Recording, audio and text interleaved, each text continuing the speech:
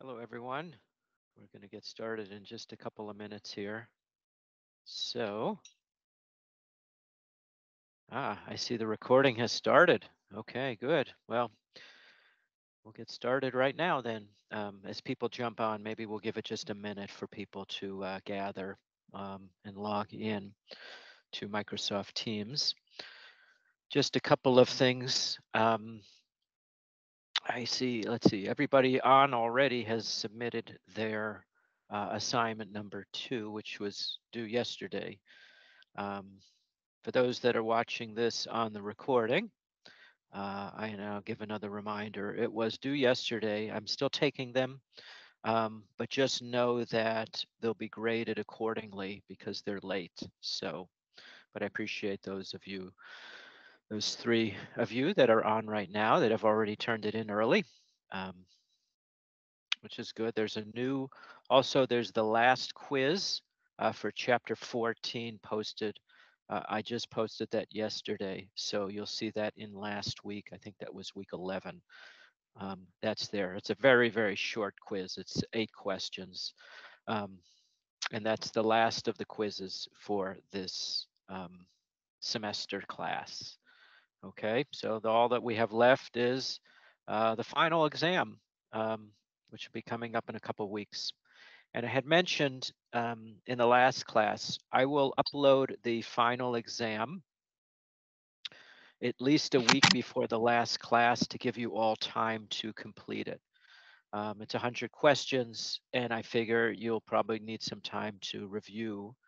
Um, and so just keep in mind that the um, materials that we covered in the quizzes will be very, very similar to what you see in the final exam. Um, so if you've gone through the quizzes and you go through the, the book and the notes, you'll have a very, um, I won't say easy time, but it will be much more smooth for you in taking the exam. All right, so looks like it's just to be a, a, a small class today, um, which is okay. Um, those people will come on. I think I saw Ashraf come on and come off and somebody else. So maybe they're having trouble with their uh, internet right now. All right, so today it's a topic that is very helpful no matter what we're doing, no matter what we're engaged in, and that's about managing our time better. Um, the other piece, obviously, is if we're in sales or if we are in business and have a assigned territory.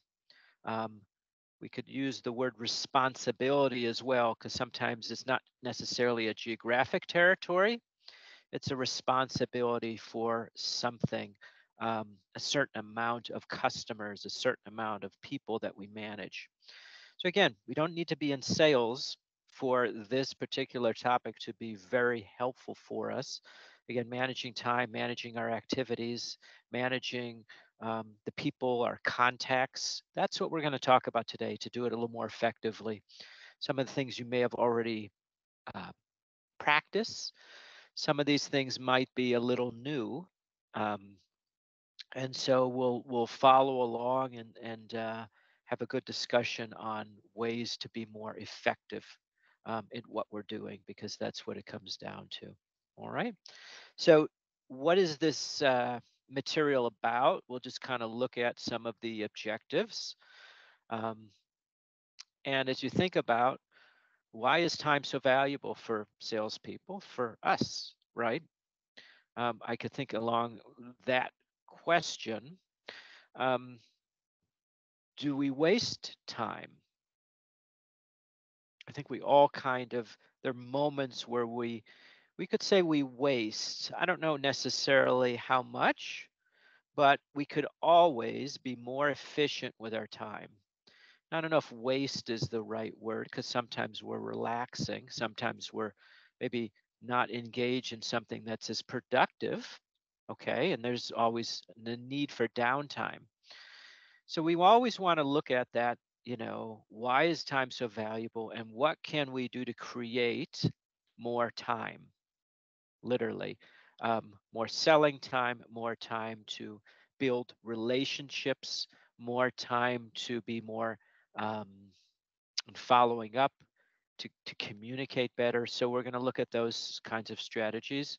Um, then get getting into the specifics in sales. And again, you, you could have a responsibility at your job to cover a certain um, part of the whole of a project. So this will help with that as well. What should you consider when you're devising a strategy to cover your territory or to cover your project? So we'll talk about that. Um, and how does this ter uh, territory strategy or project strategy or activity strategy, if you will, relate to building partnerships? That's important, to building long-term relationships. And what should we do to um, analyze to make sure we are efficient, to make sure we are managing our activities, our, our sales calls, the communications we have, we're doing it well. Reflecting on results, seeing what we're, um, is this next piece here. Results, our performance. We always want to do better, and it's not necessarily a, a you know, a lot better. Maybe it's just a little bit better, a little more efficient, a little more aware of where we're spending our time. And that will build a lot of um, efficiency into what we're doing. So, this thing about the value of time, okay? You know, 24 hours a day, I think it's 1,440 minutes every day. Comes down to, I don't know if anybody knows how many seconds in any day but it's about 86,000 and I think it's either 400 or 600 seconds. 86,000 seconds.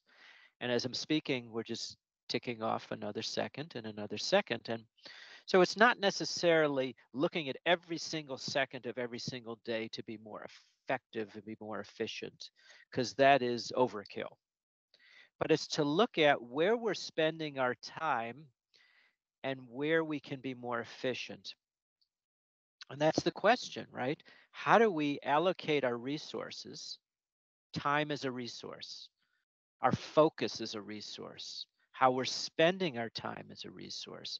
If we choose to, we'll say, uh, engage in downtime, which we do need to recover, recovery is very important how does that look? Can we be more efficient with our spending our time in terms of recovery? And so, and then let's look at, we're going to look at all the difference here in, in terms of time. The difference between, we'll say, this impacts everyone no matter what we're doing. Being really great, stellar in our performance, even in one day or one interaction, versus average performance, which is still okay, um, and I have a friend who is a uh, pastor, and he wrote a book called Addicted to Average because there's this thing about being comfortable, and average is okay, right? You're doing your job and you're getting things done and you're doing okay. Is that what we want, or do we want to be a level two or three above average. I think we all kind of aspire to do better than average. So we'll talk about how to allocate these resources. Um, this is a really good graphic just to kind of get a sense of um, how we manage ourselves, how we manage this process. And it, it is a process, it is a cycle.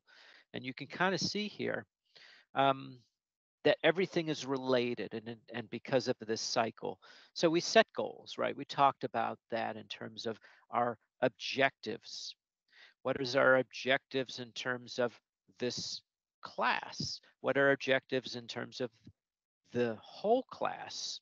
Um, objectives in terms of sales objectives in terms of your day objectives in terms of a communication with somebody.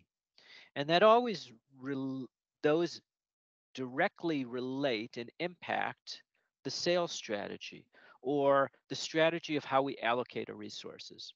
Because we set goals right and then we have a certain amount of resources that we divvy up that we allocate to figure out okay what can we do to get those goals? And then it impacts this directly impacts the time we spend. Our strategies impact the time and it impacts the territory strategy, or you could say our ability to manage projects.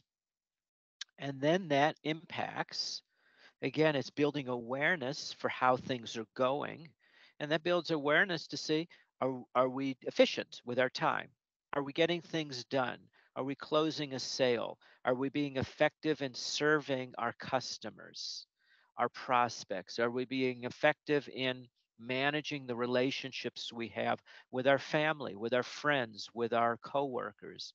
And that's when they evaluate performance. And then again, that feeds into goals. If we're doing maybe not so great at evaluating, if, if we evaluate performance and we say we're not doing so great, maybe the goals we set, maybe they're not as um, appropriate. Maybe we need to look at some different goals or different ways to have strategies to get at those goals. So we'll talk about that. And then this business of relationship goals, because it is important, right? Thinking, what do we want? So in life, I think there's really, you know, this is broader than just this class, but again, this class is about communicating and connecting with others. And I think you kind of get a sense of there's a couple of really important questions. These are two really big questions. Where am I at? And what do I want? That feeds into goals. Where am I at? Right? It doesn't have to be exactly in sales. It could be, okay, where am I at in this class? And what do I want out of this class? Where am I at in my job? And what do I want out of my job? Where am I at in the day? And what do I want out of the day? Where am I at in this relationship with this particular client? And what do I want out of this client? So you can kind of see we have to know where we're at. That's the evaluation piece. And then we have to know what we want. So I ask you to kind of think about that in all these functional areas of your life. And that's what this will show you. What do we want? And where are we at? So, lifestyle. Where and how do we live? What's important to us, our family, our personal growth, etc. You know, so that's a huge piece, right? And then directly related to our lifestyle is our career, right? What is it? What is it that we're doing with our time? Because we're talking about time management. And what do we want to accomplish? right now and in the future with our company, with our career. And that feeds directly into our sales goals. Again, if you're not in sales, you could say your company goals, what it is it that you want to do in your project if you're managing a project or you're communicating with somebody um, in a particular way. What is the goal there? performance, right? Again, we're going to measure the performance. We're going to know, again, specifically for sales, how many new accounts are we developing? What is the total sales? And what does it look like in units, right? But if we're in service mode, if we're selling consulting services, well, there's still a revenue that we're generating. It may not be units, it may be units in a different perspective, time allocation. So kind of start thinking, and then that's those sales goals feed into, again, as we talked about in the last um, uh, slide, activities. What is it that we're doing? How many calls are we making? Who are we talking to? Are the people we're talking to the right people? How many proposals are we making? Um, the number of, we'll say, demonstrations, how many calls on the phone, how many emails, how many um, direct mail, if we're using that. And, and those activities also then relate into what are we, the word conversion goals, which is just a way to say the goals that we set for ourselves, are they becoming reality? How many of our activities are actually leading to being more effective and closing a sale and closing a communication, whatever objective we want. And so we look at okay, conversion is maybe the number of new accounts we have, maybe the number of current accounts we have. Can we expand their business? We talked about that last um, last class, right? And how many new proposals? Again, this word of demonstrations and proposals, you know, because we're looking to increase our effectiveness. So maybe it's not always just the number of proposals, but how effective do we word the proposal? So maybe they convert more um, often, right? Because I know a lot of, and I think I mentioned this before, when I got into sales, people always said sales is a numbers game.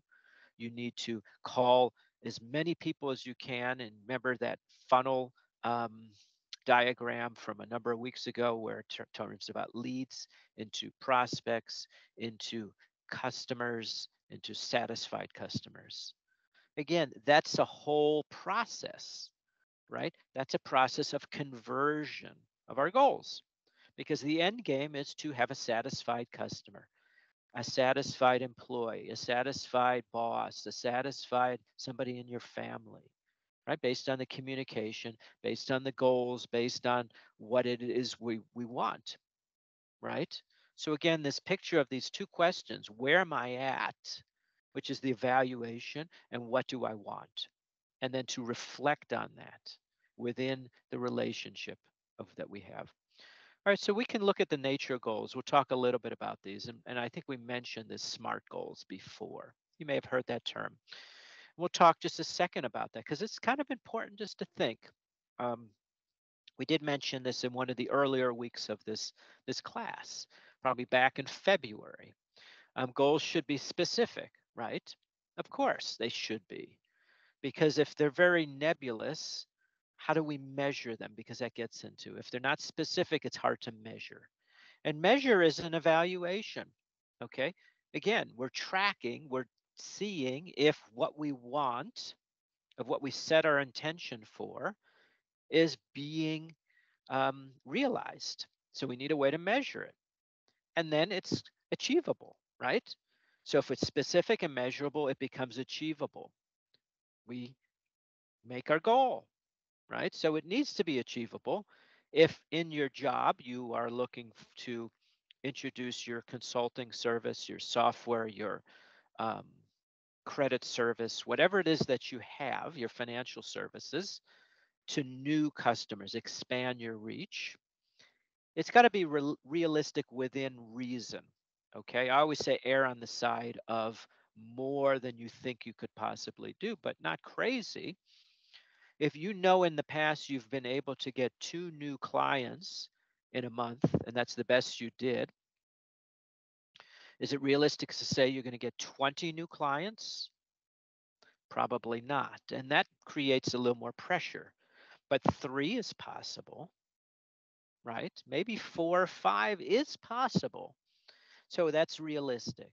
And that might expand. You're realistic as you get better at your job, as you get more efficient. What's realistic now might be different in three months from now. Think about that. And time based is meaning that we'll set the goal up. Can I do this in three months? Can I do this in six months? Is this a year goal? Is this a, a weekly goal? you know just so always have a a way to kind of evaluate what we're doing. Again what do we want right and where are we at? And we can piece this smart goal into that kind of model right?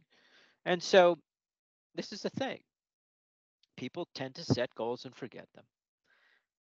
I would say i'm guilty of that myself right? I think we all are. We set a goal we forget it. So sometimes, and I know, and I'll tell you, I have lots of these post it notes around, okay, um, as reminders. Reminders, obviously, we set a goal, but what are the tasks?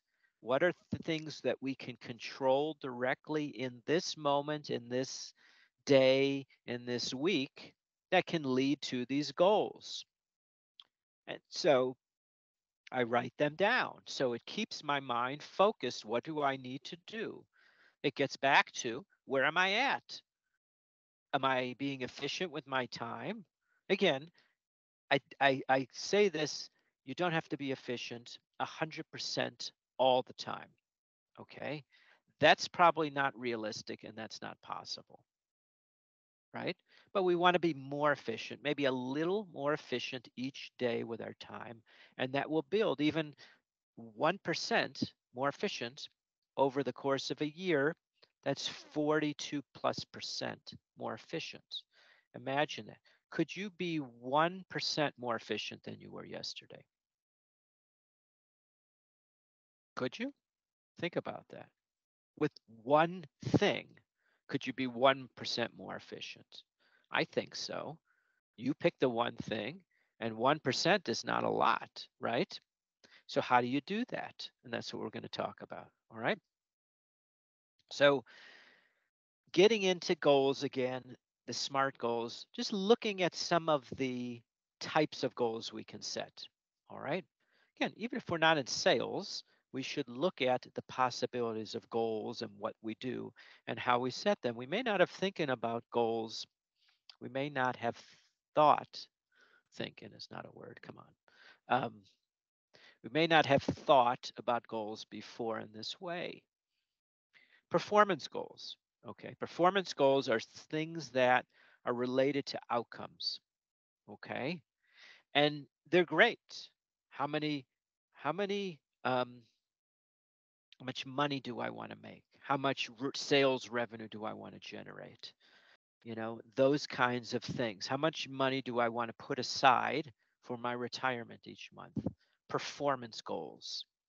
Um, how much, you know, in terms of how many new clients are going to buy my software in the next six months. Okay, but the thing about performance goals is a lot of those we set and they're great.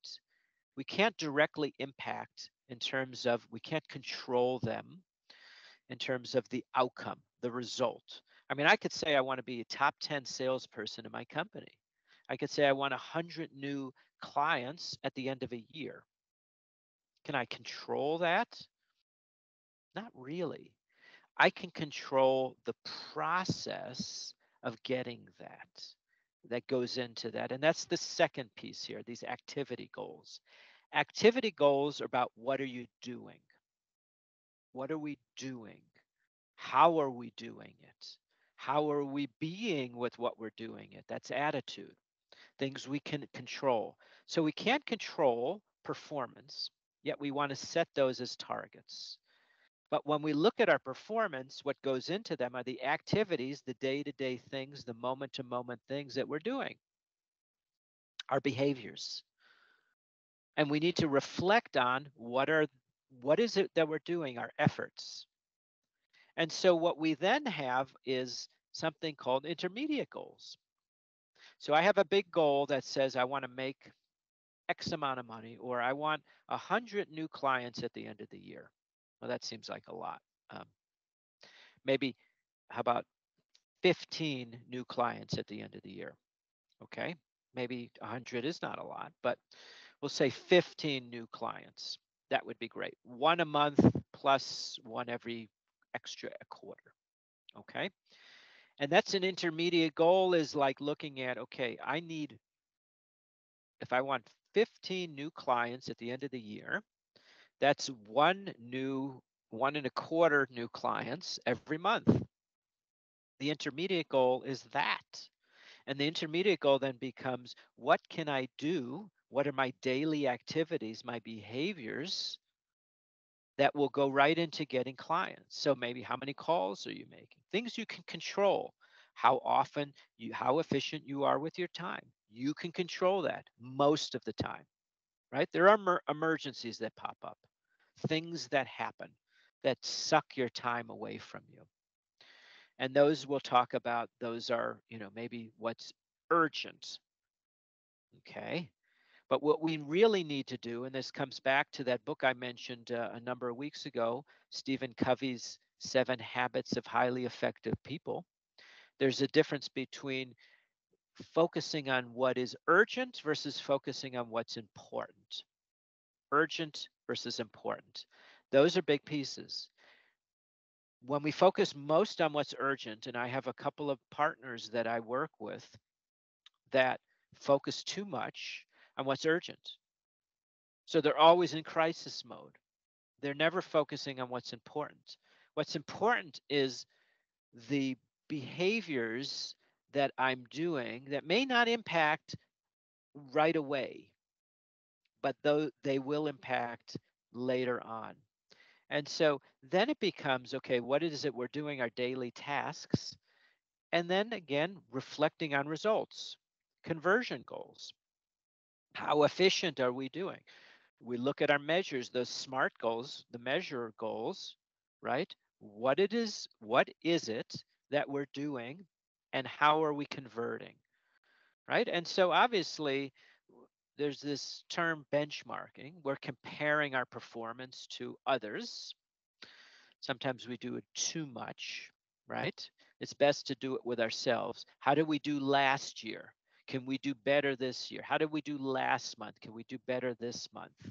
What does it mean to do better? Right? We need to look at that. So benchmarking, not necessarily with always the other people in your company, but how you did last year, last month, last week. Again, if you're 1% better each day, more efficient in managing time and managing your resources and managing what you're doing and allocating that, then it becomes certainly something you can control and impact. And that drives you, builds momentum towards getting your goals. It also gives you an ability to see, okay, I might be falling short here. What then do I need to do? Okay, so when you're setting goals, just kind of start to think about a few things, right? Activity goals should be set after performance goals. These are the activity goals are what you can directly impact. In my mind, activity goals are more important. These are what you focus on day to day you don't necessarily focus on, okay, 100 new clients in a year or 15 new clients in a year. That's a goal that's set out there, but you don't look at that every single moment. What you need to do is focus on the activities that drive your ability to get those 15 new clients in the year. All right. So that's the biggest piece, the biggest takeaway, I think, from this entire chapter on goals and on how to manage our time is that the allocation of our resources and where we're spending our time are we focused on things we can control directly and those are the activity goals. What is it we're doing and how are we doing it? And that determines you know part of it is determined by um, our our desire to achieve a certain performance right? So say we set out, uh, sometimes the one thing those SMART goals didn't set out is sometimes these need to be exciting. Okay. They need to be motivating. I think part of that M for SMART goals instead of measurable, it should be they need to be motivating to us. Because sometimes the company sets goals, right? They set big goals. They set different kinds of goals than maybe we set And we need to look at okay they set their goals my boss has this particular goal in this project how do i take that and use that what can i be excited about if i'm excited about my goals then my desire increases to perform the day in and day out activities. The day in and day out activities are not as exciting sometimes. Oh it is exciting to think about hmm want to make a $100,000 this next year or increase my revenue by $50,000, increase my bonus because maybe that's directly tied to how you're producing. Maybe I want to max out my bonus. I want an extra $10,000 in my bonus. Can you control that? No, what you can control is the day to day activities. And sometimes they're mundane tasks, following up with a customer, following up with a client, doing the follow up work in terms of looking at, okay, how am I doing? What, do, where am I at? And what do I want? Right. And sometimes those things change. Certainly. All right, so let's move along here. Let's look at resources. Resource to be allocated and where to allocate them. What are our resources? You kind of think about what we have to offer. Time is a resource, it's a big one. But when we think about physical resources, what is the physical resources that we can allocate? Okay, to a company, they represent a cost to the company. Their physical resources are their salespeople, are their employees. Those are physical resources.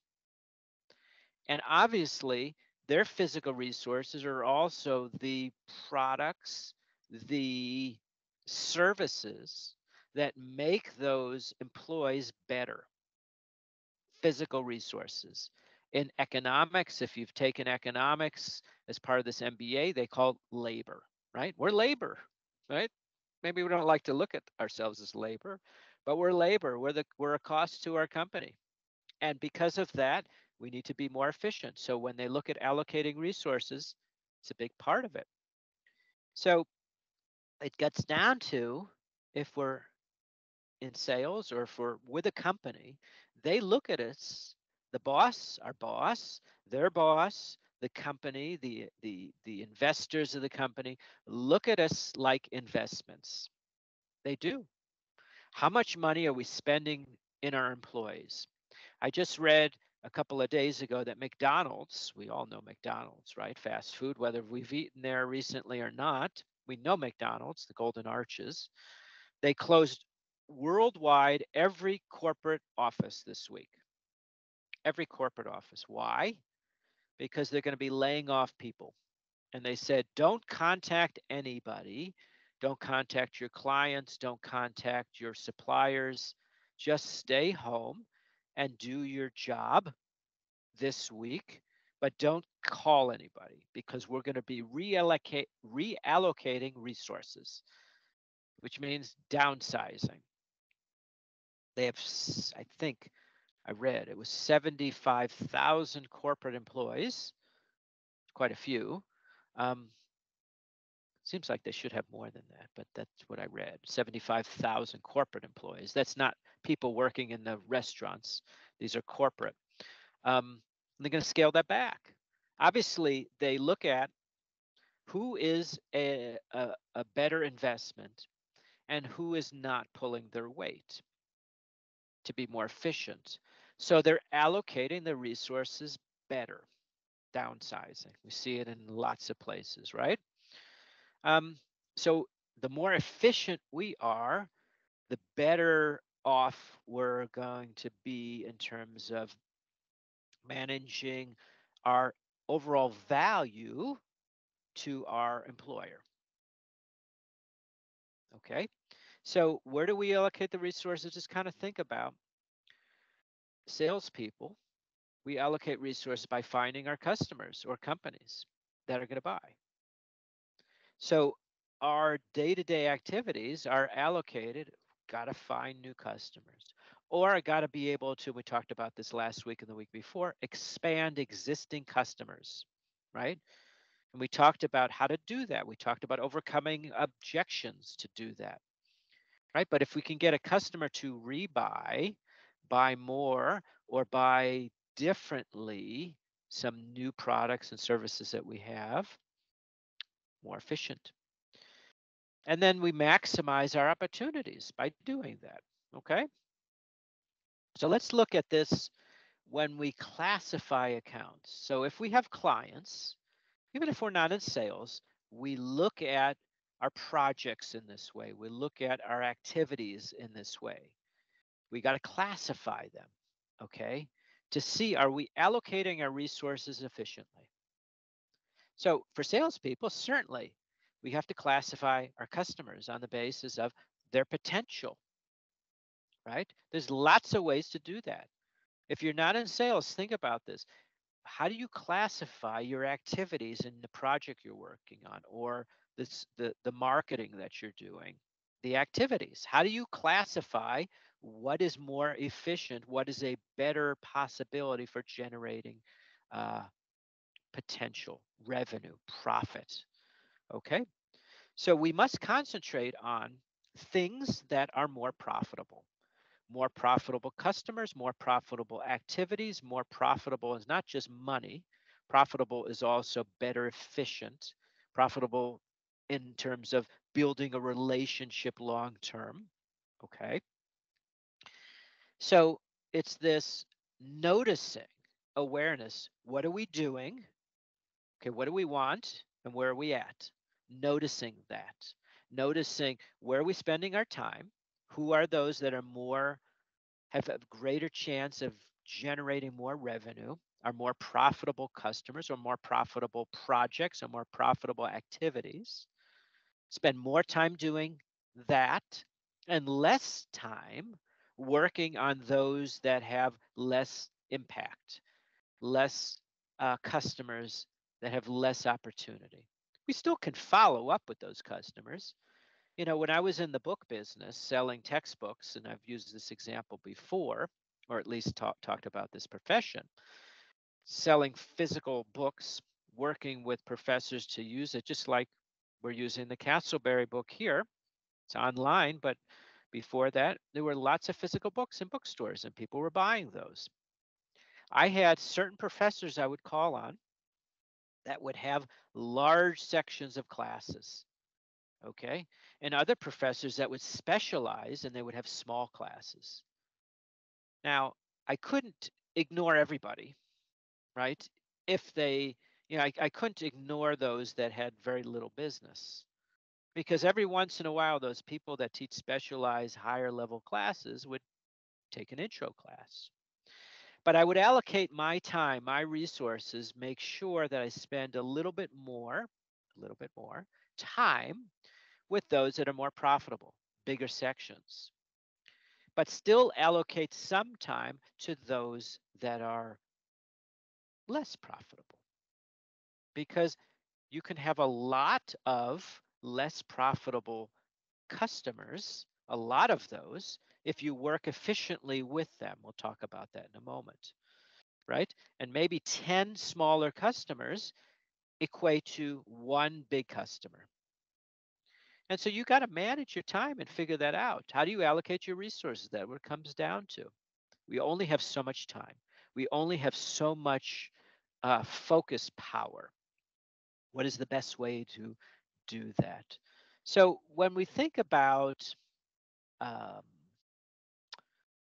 looking at our customers, okay, looking at our projects, um, my my brother is a project manager, and so he has lots of projects that need to get done in a couple of year period. Some are shorter term, some are longer term.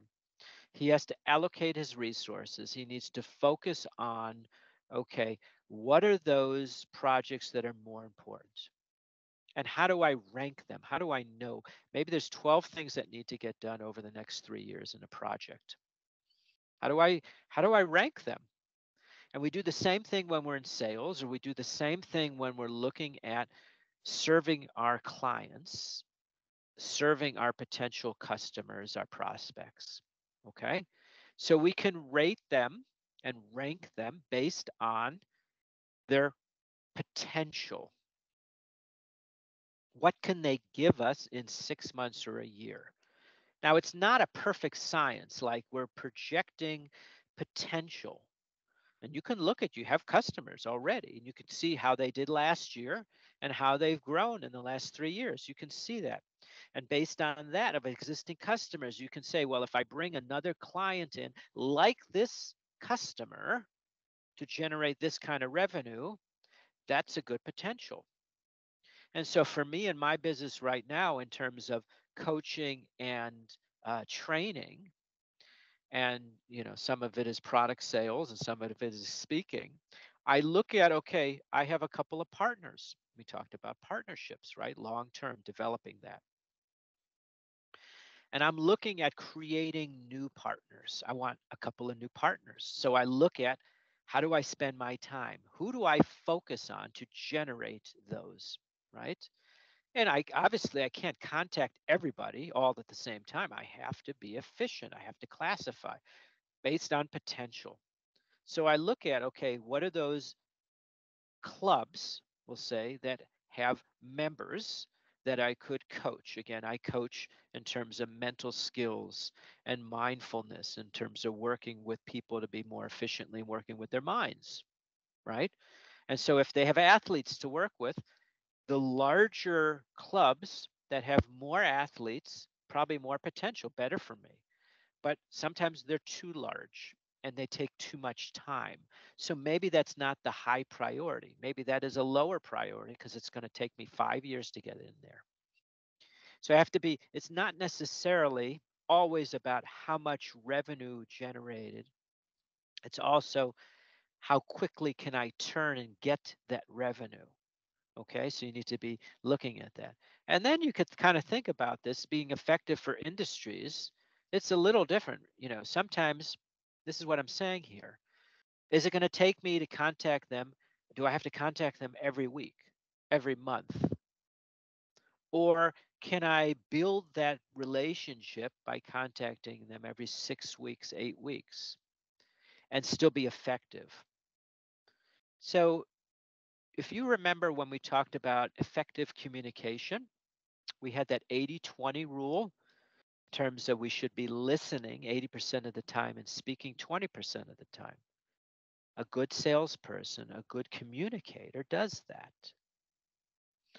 And if that's the case, if we're only talking 20% of the time, we need to be effective and efficient with the questions we're asking and this drives if we if we communicate in order to solve an objection if we're good at asking questions we can get the customer to share a lot more about what objections they have and so the 80-20 rule is important it also is important here 20% of your business um, this 80-20, uh, Wilford, Wilfred Pareto, it's called the Pareto principle, okay? It's a couple hundred years old. That's where the 80-20 rule comes from. 20% of your clients will give you 80% of your revenue, usually. If you think about that. So if that's the case, 20% of your accounts are worth the most. And what are those accounts? And so companies look at this, you know, and we look at this. How much time are we spending with those 20%? Should it be 80% of our time with the 20%? Maybe. Maybe it maybe it should be 50%. It varies here. But you classify, then there's the B accounts. The A accounts are your top 20. The B accounts are the other 80%. Okay? That are smaller business potential. They're still important, but they're a little less important in terms of managing time. And then you have, you can classify C accounts. Customers and accounts are low potential. Maybe you don't have them as customers yet, and you're not really sure how much potential they have. Okay, but there's still some value. You still follow up with them, you're still aware of them. Because here, a C account, this is important, a C account right now, today, might become a B account next year, might become an A account in two years. So you don't neglect the C accounts just because you rank them as less important, right? Absolutely. Because this is the long term planning. This is the vision we need to think about. We can't ignore everybody. And at the same time, we can't give 100% effort to everybody. So this is why we're talking about we need to classify. We need to have a system. We talked about this a couple of times, the CRM system, customer relationship management system. How are we tracking our activities so that we can follow up effectively? Okay. And this gets into how do we manage these relationships? Relationship analysis. You know, it's just noticing. Okay, classifying accounts based on relationship. We can do it, okay, based on potential revenue. We could also do it based on relationship. Think about this. Um, and how do we do it? R- new relationships. If we're developing new relationships, those take more time, don't they? Many, usually they do. new customers, you you have a new new uh, client, um, a new project. You when you take on a new project at your company, it takes more time in the beginning, right? Absolute, because it's new. You have to get familiar with the. You're not as efficient right away as you will be in three months. And so, because it's new, it takes more time. Short term relationships. Those are customers that you may have had for three months, shorter term uh, clients, um, projects you've only been working on a short period of time. Again, maybe you're not as efficient, but you divvy up your time based on these. You could. This is a method to do that. And then long term relationships. Again, we're not neglecting uh, customers, but if you have a long term relationship, if you built that partnership, maybe you don't need to be with them every single day. Maybe they give you a little slack, but you still need to follow up with them. So you divvy up, okay, these are the new people, new relationships, shorter term, longer term. And then there's this piece about I had a customer, I had a project, I had a client, and we lost it. That's a potential. And so we need a way to look at it. Maybe we lost to a competitor. Maybe your boss took projects away from you and gave it to one of your coworkers. Winning that back, maybe you liked working on that project, it was something you did well. Maybe they took some responsibilities away. Can you get those back? By being more efficient. So it's not like you're just forgetting, okay, I lost that business. It's always like, I lost that business. Can I win it back? And how can I win it back? Obviously, you can't spend all your time on the lost business and winning it back because then you're neglecting the new, the short, and the long term, your existing customers, right? But again, it's something you need to think about and consider as we become more efficient. And there's no perfect way to do this. But as I said in the very, very beginning class, this word awareness, self aware, right? How we're feeling, what we're thinking, and awareness of what we're doing, our activities. And so then it becomes like, can we be a little more aware? Can we be a little more efficient? Can be a little more effective? And then it becomes, yes, of course we can be a little 1%, right? And so this will change based on relationships. And again, those short term relationships, hopefully they become long term.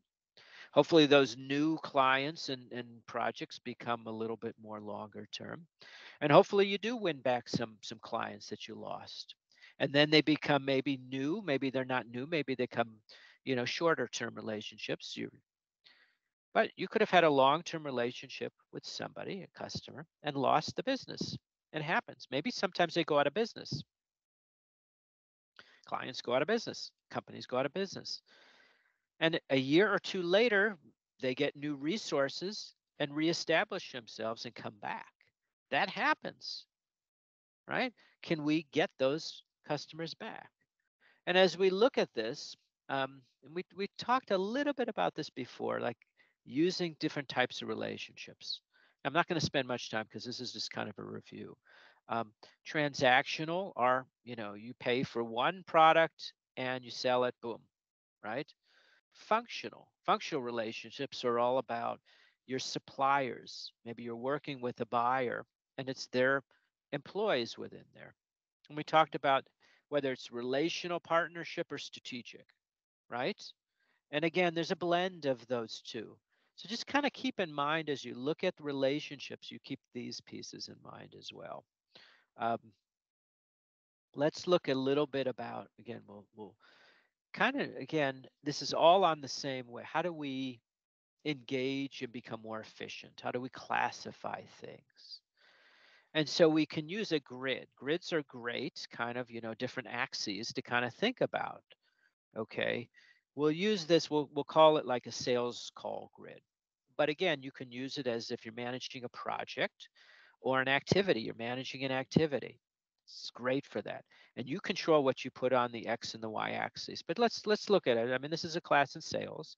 So let's look at a sales call allocation grid. we think about classifies in our, our accounts, right? We're talking about those that are potential on the basis of how competitive they can be and their potential, right? Competitive meaning are 10 other salespeople going to be trying to get that business from that account? That's competitive. Or maybe only five. That's still competitive. Maybe it's maybe it's hard, and so only two people go after them. A little less competitive, but maybe it doesn't generate as much revenue potential. That's that's what we have to look at. So then we kind of look look at this this grid, and really what it does, it helps determine how much resource we should spend, how much time, how much energy. And then we look at okay, we have this grid. We'll talk about this. This was a great exhibit in the book. How do we determine how we're doing? How do we evaluate where we're at? So it's a great thing in terms of these two questions I mentioned at the very beginning. Where am I at? If you haven't written this down, write it down. Where am I at? What is what am, what do I want? Those pieces, those two questions you could keep asking throughout the whole engagement process. Where am I at? What is it I'm noticing? And okay, checking in, right? And then what do I want? The goals. Where am I at with the goals? How am I doing with those? Again, you don't have to micromanage every moment, but those two questions are really helpful. Okay. And so, what does this look like? And and this might be familiar to you if you if you looked at this on on the the um, in the book. Um, but just kind of think about this from a standpoint of account opportunity, opportunity to grow, right? Business revenue. That's what we're talking about. If you're going to work for yourself one day, this is important even if you're not in sales and you're going to get into business for yourself, I know, I know there's a few people on this call and that are going to be doing that.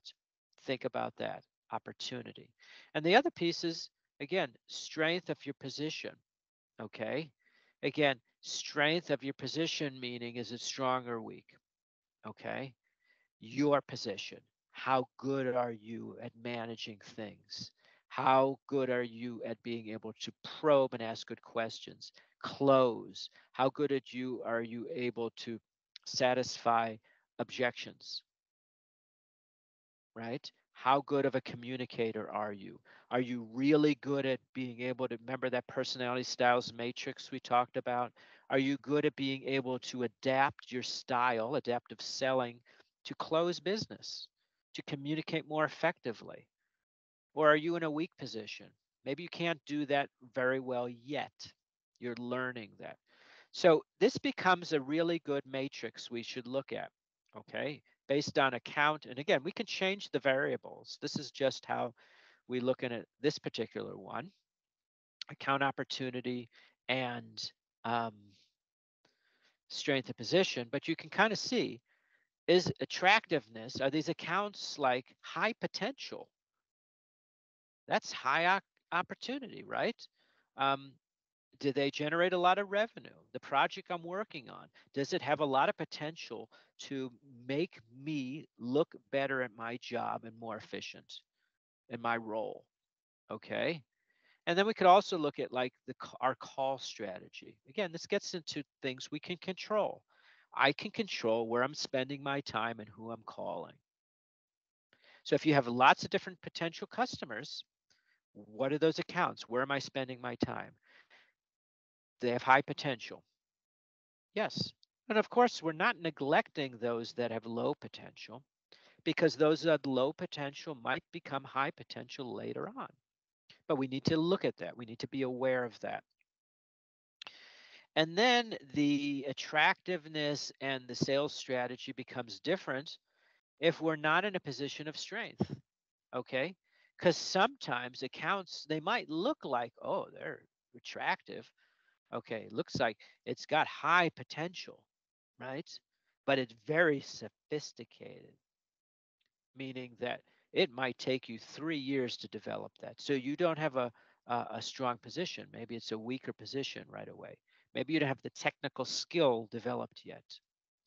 So it, it becomes like again We look at this to say, where do we spend our time? It's just another way to assess, to look at, to allocate where do we focus, right? And so then it becomes this okay, looking, we, we always want to increase our share, our account share, right? With a specific person, not always increasing number of accounts. Okay. And sometimes we want to increase both, certainly. But what we should, some companies and a lot of companies look to increase how much business within existing customers that you have. Okay. Maybe you only get 50%. You have a buyer. Maybe they only give you 50% of their potential sales. Again, your suit manufacturer selling suits. They have a retail store. They have 20 of them. They bring in other manufacturers. You're one of 12 manufacturers they bring in. Could you increase their business? Absolutely. Sometimes companies look to do that rather than say, okay, who are the other potential distributors out there I could sell to? You do both, right? But how do you allocate your resources and how do you determine the potential? So you look at this these balancing of customer share versus account share, okay? And it becomes kind of a grid in a sense too because then you look at okay what is the average business the percentage of business that i have from these accounts in a particular category right? So maybe i have different suits. Maybe i have winter suits and summer suits and spring suits. So i need to look at that. How, how many winter suits is this company buying? They're not buying a lot of summer suits. Why is that? How can i increase that share? Right? And so then it becomes you know this this term share of wallet which is basically it's similar to a customer share but it's an individual right? For us right? I'm, i do not have my wallet on me right now but like you share your wallet. You have certain resources in your wallet certain amount of cash right? How do you allocate that cash based on who what you're buying right? You go to a grocery store. How do you allocate the funds you have to purchase what you want right maybe you're purchasing you know you're on a a, a new diet right? And and you're so you're changing your buying habits of what foods you're purchasing. And we want to be efficient with what we're buying right? So we need to look at okay what is the what do i want? Where am i at and what do i want? And based on that then you determine okay what are the resources i have right now? And how do i allocate those resources? So this kind of classification system is useful in all places, not just for sales. So we need to kind of think about that. All right, we'll we'll finish this uh, classification scheme, um, and then we'll take a little break here. Um, look at when we classify the the the ways that we're engaging with these accounts. Sometimes it's like um, looking at how we're investing our time. There's lots of different ways. Again, some some salespeople invest time. Sometimes it's you can think about we spend our time with demoing things, giving free samples. Sometimes we spend our time training customers. You're onboarding a new client for your consulting. That takes time. Do you do it or does your company do it? Sometimes we do it. Sometimes we have resources for a company and they do it, but we need to be engaged with the process. Right. So we need to kind of think about as we invest our time, where are we putting it? And how do we how do we know what's efficient? Companies use modeling, right? I think there's a few people in here in the financial and the credit world and the financial resource world. Um, they use models, modeling to determine which accounts are more productive than others right? We have schemes that we kind of this this is we classify these schemes. Your company might have ways of looking at potential clients potential customers and so they kind of predict who's going to give us the most revenue who's going to give us the most potential. So this predictive modeling becomes important because then it determines where we invest our time if we use that. And some of it is not necessarily like high grade um, modeling with computer software. It's not, sometimes we do it ourselves in terms of, okay, again, I work for myself now and I look at who are the potential prospects and customers, and who are the potential new partners that I can generate. And I kind of set up a modeling system based on what's worked before, knowing that it might not work next time, but if it worked before, there's a good chance it might work next time. And so that's kind of how I look at okay, where am I spending my time? How do I allocate my main resource, my energy, my effort, and my time? Okay. And then as we think about this um, pipeline analysis, we've talked about pipeline. Pipeline is like this um, amount that we can expect. It's like this is the channel of revenue we look at. We're used to identify managed sales opportunity, our pipeline. Can use it in marketing. It's a marketing pipeline, right? Marketers use this all the time, and I use it a little bit too. And like my pipeline for potential when I'm looking at leads. What is my lead generation pipeline? How many are going through my funnel? Because I have a funnel too. How many are going through that pipeline? It's also known as is it opportunity management. How do we manage all that? Right? How do we manage taking a potential lead to a satisfied customer? Taking a potential new project to a completed project. How do we manage that? Okay. And so then we can kind of look at how do we do that we can be assisted by the CRM systems, right? Software helps us. I put a lot of things on an Excel spreadsheet, potential customers. And I look at that and I look at when I've talked to them last and who I t- spoke to and how I communicated with them. And did I make headway? Did, did I communicate with them effectively? Is it still hanging out there? How often do I need to follow up? And then I can determine reflecting on results. How often am I contacting them? How often am I converting them? How often, how much time do I spend and how often am I doing it in the job that I'm doing? And then how often, how long does it take for them to be an existing customer? Sometimes it's short. Can I be more efficient? So if I generate a lead, somebody generates a lead for me, I'm pretty good at converting. I'm really good. Okay? 90 plus percent of the people i talk to will use my services. But that's only because i'm very good at sifting through the the leads and prospects. I'm really good at that and noticing and fine tuning my message and my objectives i'm really good at that and so when i spend my time with a potential customer potential client somebody who's going to bring me on to be their coach, I've already done a lot of work ahead of time. We talked about this, right? Looking at where we're spending our time ahead of time, objectives, doing all that work ahead of time. I'm I'm really focused on that. So then it drives my efficiency later on. And it assures that I have enough opportunities for later. Okay because now I can kind of see how many of those do I need and how long it takes. And it does require you identify which stage my people are at, right? Which stage? Like, are they a lead? Did somebody just give me a lead? I get an email from somebody. I heard about you from a, you know, this happens, a referral. Somebody, you know, just recently reached out to me. A, a satisfied customer gave them my name they called that somebody called me or sent me an email. It's been a month. I still have not talked to them. I'm going to be talking to them later this week.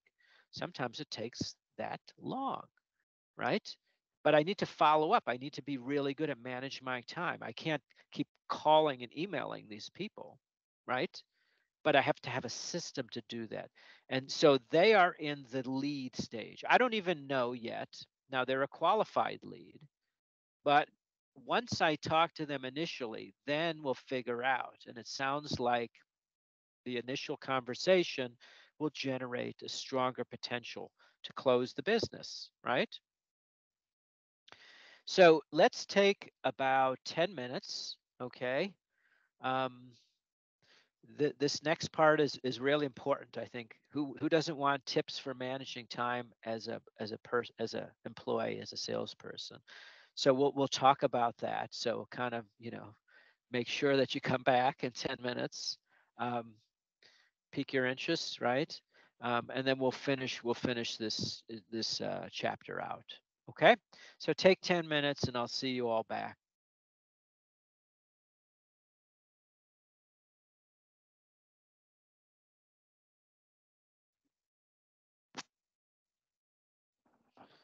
All right, welcome back, everyone. Um, before I get into this, I'm just curious for those that are on the call right now. Um, I'd like, you know, somebody to share, you know, as we talk about tips for managing time. I'm just curious, um, you know, we all have different ways we manage time. Again, even if we're not in sales, we have manage uh, our resources differently.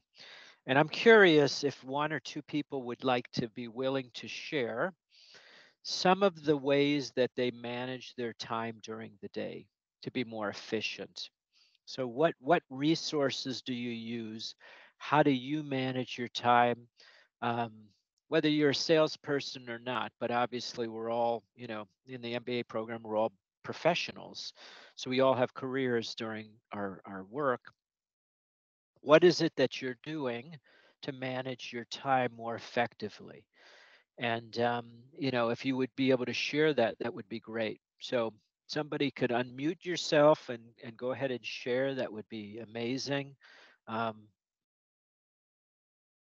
you know, certainly you can type it in the chat, but I think if you could share um, live, um, that would be great. So let's see. So the calendar and the iPhone, certainly, uh, is that ab- absolutely? I think you think about ways and, and things we share. Um, Elena puts use the task manager. Um, it's ClickUp. So a task manager. Again, we're talking about activities, right? And how do we manage our time? And to notice, part of it is being aware of where we're spending our time and noticing then, are we as efficient as we need to be? So there are lots of great systems. Um, there's also lots of great distractions available, right? Um, the iPhone is a distraction sometimes, or the internet, um, or other people could be distractions sometimes. So we need to be very efficient with what we're doing. Um, anything else? So we have the iPhone, and people use a task manager, ClickUp. Um, what else do you use to manage your time and your resources? I'm sure, you know, do you, eh, some people have even paper calendars, you know, or binders, right? Um, like I said, I use those things on my phone. I also use Excel spreadsheets to manage time. Um, Google Calendar, absolutely. If especially if you want to sharing it among multiple people, um, that's a great way to use.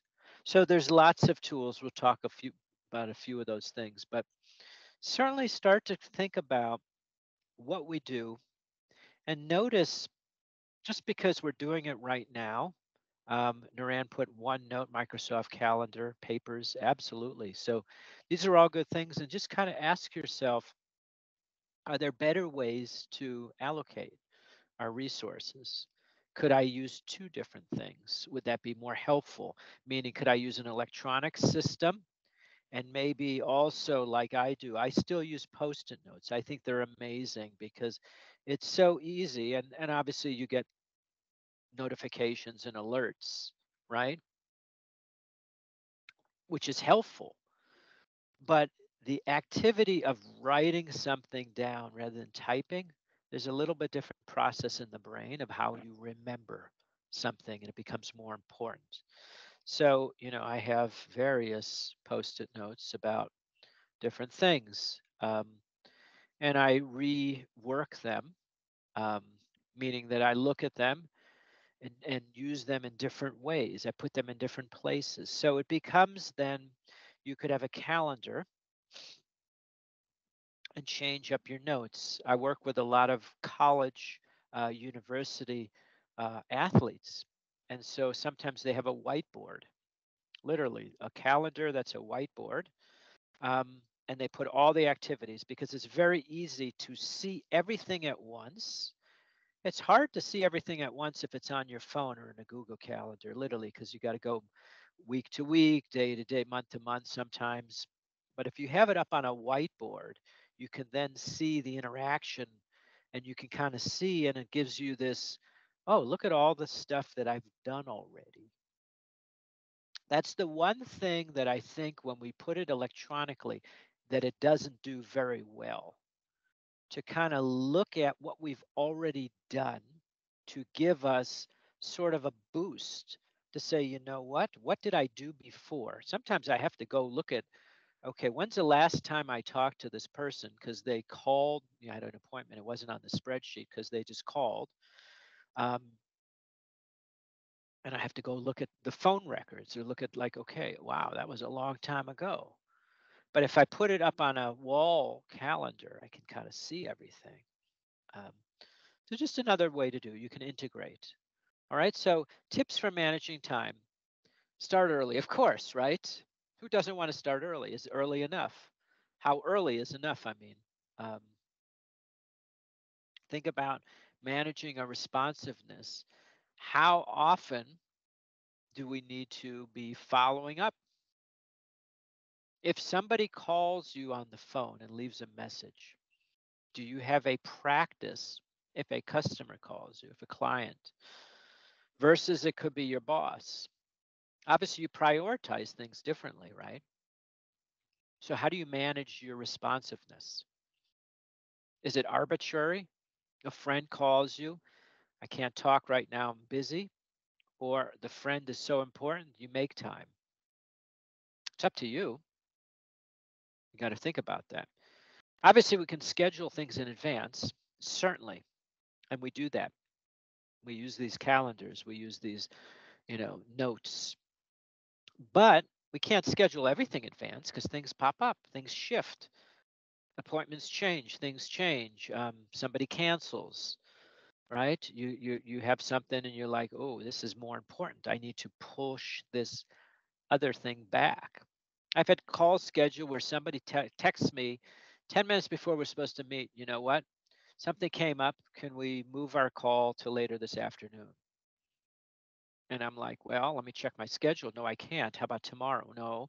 So sometimes it's like a week later. So you can't always schedule things in advance, but that's a great thing. And we've talked about this downtime. Downtime is important. Do you use it wisely? This is recovery. This is, you know, for an athlete, for a professional, this is critical. You got to have recovery time. You can't be go, go, go all the time, right? So, how do we use it effectively? How do we use it wisely? We'll talk a little bit about that too. All right. So, what is the strategy that we have for implementing our time management? So, we need to obviously understand good work habits, right? We need to have an idea of the activities that we do on a daily basis that are productive right? And those that are not. And sometimes, and again, this changes because sometimes it's not productive right away because it's new. I was I was working with an with a with an, a client. He's a tennis player, and he's learning how to string his own rackets. So you have a, a tennis racket, and he's learning how to string it himself. He, his dad bought him a, a, machine to string the racket. It took him two hours the first time, and he didn't do a great job. That's a long time. Okay. Allocate two hours initially. But I said, when you get really good, how long should it take? An hour, 45 minutes. If you're a professional stringer, about a half hour. So imagine you start at two hours, then the job takes, and this isn't anything we do, right? We get more efficient, we get better. and it takes an hour. But there's always things that we need to do that we're not as efficient at. That's just the way it is, right? So we need to figure out what those things are and allocate properly. A lot of the times that we create good habits, it's also because we're looking long term at things, meaning that it might take me this now and, and this later. If you get really good and you're an effective communicator, in a sales call, in a talking to your boss, again, depending on the personality style, drivers might drive you to spend less time uh, breaking the ice. They don't want to hear about your vacation. But if they're amiables, they do. So it impacts the time based on who you're talking to and what you're, t- so you got to be efficient. Drivers actually make it easier to be efficient with your time because they want the facts. So it is an analytical. You need to be very precise with what you're showing them. If you're talking to amiables all the time, boy, you might get sucked into three hour conversations. You have to be careful, right? An expressive is going to want to share everything with you, not only their vacation, but their friend's vacation that they just heard about. So, what are the good work habits? Do you know what those are? do you know where you're engaged where am i at what do i want right and then it comes down to you look at you know how much time you're going to spend prospecting and how much your time you're going to spend with servicing customer care because those are important it's not all about getting new business or existing customers you got to again include a little bit of everything right? You got to make time for meals.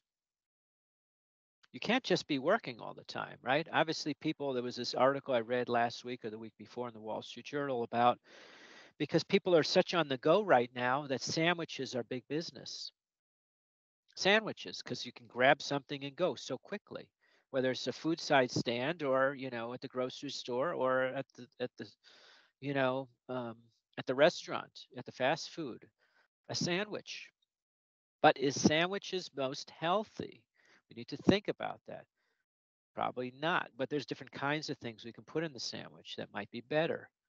Now, if we eat a salad, that might be more healthy, takes longer, takes more time. So it's not just a question of how much time does something take. You have to look at it. What does it get us? Right? Again, time management is about looking at things in a larger perspective, but not neglecting anything, right? I mean, we have some days where we're so busy, and this happens, you don't take time to eat as much as you need to, or the good things that you that you normally would. You pay the price later on, don't you? You're more tired. Um, then we're you know jamming coffee in, in our mouths to you know down our throats so we could stay awake because we didn't get as much sleep the night before because we were up late doing our work. So you got to think about everything impacts everything else. There's spillover. We need to be aware of that. Okay. Now, your company might set guidelines for you, and usually they do how to allocate your resources. They give you guidelines based on previous experiences with buyers, they tell you, okay, you should be seeing 10 buyers a week. You should be calling this amount of people. You should be doing this. But again, that's their guidelines. Then you need to take their objectives, their goals, and look at how you can, you know, merge your goals and what you do with theirs. Right? There's layers here. And what they want to basically, what we're all basically trying to do is maximize prime selling time, right? Prime selling time. Now that varies, right? We're kind of like time zone.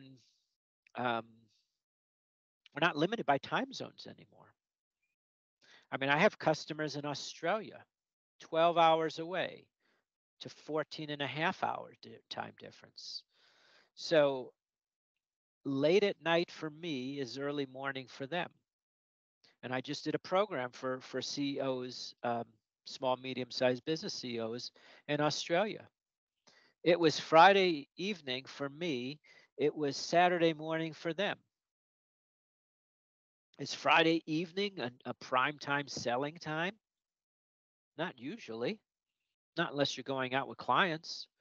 But for me, it was because my customers are in somewhere else. So it gets to like you could have prime time selling all the time. So again, that's not possible. So you have to allocate your resources because you need to sleep, you need to eat, you need to call on existing customers, you need to create new opportunities, you need to handle some issues that arise. Maybe not you personally, maybe people in your company, but you need to be in the know. Because if they're your client and they have a problem with your service or product, and you set them up to talk to somebody else in your company, and that person that you set them up is not helping them, you need to know about that so you can get them somebody else, a different resource. Right? Okay. So these activities, and we kind of think about this from the standpoint of planning, what are they? Basic, basic things. But but again, we can't miss any of these. It's just this is just a process. I want you to kind of see maybe if there's a gap in any of what you're doing. So we obviously make a list. We put it on a post-it, we put it on our calendar, what we need to be doing, right? And then we determine once we have a list, what's most important, right? I tell this to my clients all the time. How do we win on the field or the court? How do we win? We win, W I N, by noticing and doing what's important now. That's how you win. You focus on what's important now. W I N. That's the win. And if you could do that really well, you get really good at being efficient and being better at you than you were yesterday and the day before. And then you got to estimate, okay, you know, you got these tasks, you determine what's most important, how long they're going to take. And in the beginning, again, we're not great at guessing things. Sometimes we say it takes an hour, it could take two. Sometimes we say it takes 20 minutes, it takes four hours. You know, you look at, you know, this has happened. You know, I think we I've used this analogy before. Like you go to IKEA and you get a something to put together, and it and it you you look at the pages like, ah, I can I can knock this out in an hour. No, you can't. It takes three hours. I had to build a dresser for my son going off to college. I looked at how many pages. I'm like, okay, I have past experience now doing this. It says it should take you an hour and a half. I'm like, hmm. I'd say I, I planned two and a quarter hours. It took me two hours. So you become more efficient in planning and estimating, right? And then you develop a, a schedule for doing these activities. When do I need to do X, Y, and Z, right? Here's all my customers for the week. I'm planning. These are the priorities. These are the activities. This is most important. Develop that schedule. And then, and then you compare how much time you spent with what you thought it was going to take, right? That's how we learn. We don't do it for every single task, right? Because some tasks are like, okay, go to the store and pick up X. You don't have to do that once, right? It's not like you have to be more efficient. Okay, uh, what's the best path of me driving to the store to pick up a, you know, a stick of butter? You know, because we're making, I don't know, banana bread and we need to stick a butter. So, or pick up bananas. Can I be more efficient with my time driving? Think about that. Of course you can. Can you listen? Do we listen to music while we're driving? Yes. Could you listen to a podcast? Could you just be more aware of driving and be aware of driving and not overthink about a work project?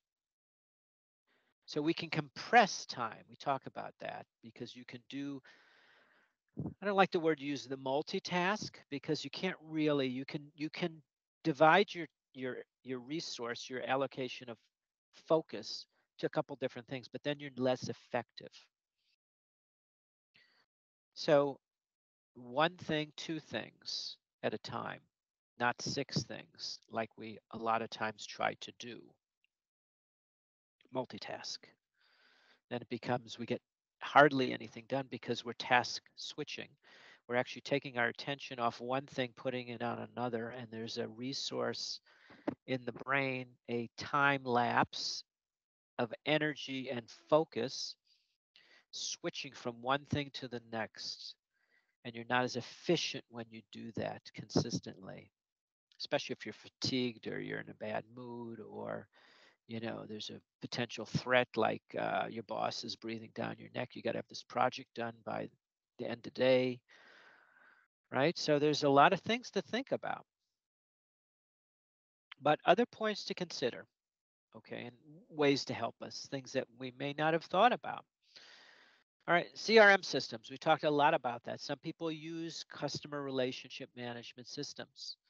They help us look at our tasks. Who are we calling? How do we follow up? They can generate to do lists for us and calendars. Have you heard this term, the tickler file? I don't know if this is still used. I mean, I, I have this in, in sales uh, for my thing. A tickler file is like a notification, you know, tickle um, when you should call somebody, when you should follow up, what actions to take. It used to be before phones that you do all this by hand. My God, remember, if you're old enough to remember um, these tickler files or these to-do lists, actual to-do lists, I'd have file cards with each name of a customer on it. I'd write all the things on the back. We do this electronically now, of course.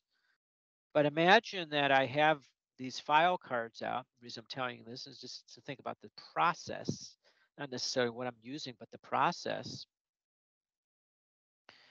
If I need to call somebody every month, I have a January, a February, a March, I have a calendar, right? I have 12 tabs in my file box. And sometimes, okay, I take one person, I call them in January, and I put them in February at a particular day, the first week, maybe and then I look at it. So it what it basically does is it reinforces a couple of things. What am I doing now? Where am I at? And what do I want? And what do I want is okay, it's now April. Who is in my April tickler file? Who was in the March tickler file? Maybe I didn't connect with everybody. Okay, so you can look back and you look ahead who's in May, but you focus on now What's important now is those people in April. And this allows you, and just know again, this word flexibility is brilliant, right? Because we need to be flexible. Because again, we schedule more time for one thing. Sometimes it takes, sometimes your boss, this happens, right? Certainly very uh, real world life experience. Your boss calls you. You're working on three different projects. They say, you know what? I need you to do this right now. You know, Naran, your boss calls you and says, I need you to do this right now. But what about the other three projects I'm working on? No, you need to take care of this client right now. Emergency.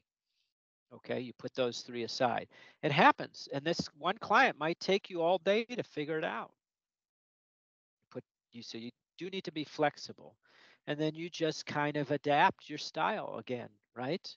It's about being adaptive, adaptive selling, adaptive communicating, adaptive time management. Okay. So there's different kinds of ways and techniques to increase time spent with customers. Kind of think about this. Obviously, you can plan, okay. When we say routing, we're just planning sales calls okay, to minimize travel time. Say you have a big geography you have to cover, right? You don't want to you you use based on geography. You know, think about think about us. We're going to do errands. do we do errands and keep overlapping of where we're going? We have four different errands to do, and we pass one store to get something. Then we go back home, and then we pass and go, you know, you know, get to the other place, and we're not very efficient. So we need to look at what it is we're doing in the day to be more efficient. And then we can look at routine patterns, right? There's certain people that you have to call regularly notice that. Who are those people? And routine is, I don't know, once a month, once a week, once a year, whatever that is regularly. We have some of those. Then variable, meaning that sometimes your customers are seasonal, meaning that maybe in spring and summer they give you bigger orders. But in the winter they give you nothing or very little. So you look at that call pattern based on how they're giving you business.